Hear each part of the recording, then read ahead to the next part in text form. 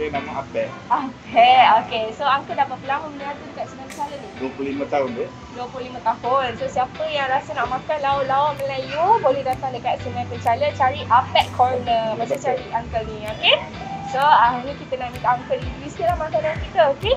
So makanan ni nama dia Natural Cake. Dia Ya. biskut. Biskut tapi rasa ayam. Rasa ayam. Ah, Okay. So uncle pernah nampak tak uh, biskut ni kat Tak pernah.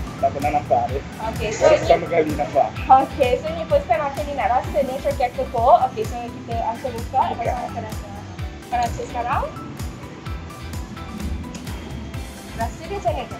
Rasa Oh, sedap dia. Sedap. Sedap. Rasa ayam tak? Ada rasa sikit ayam. Ada rasa.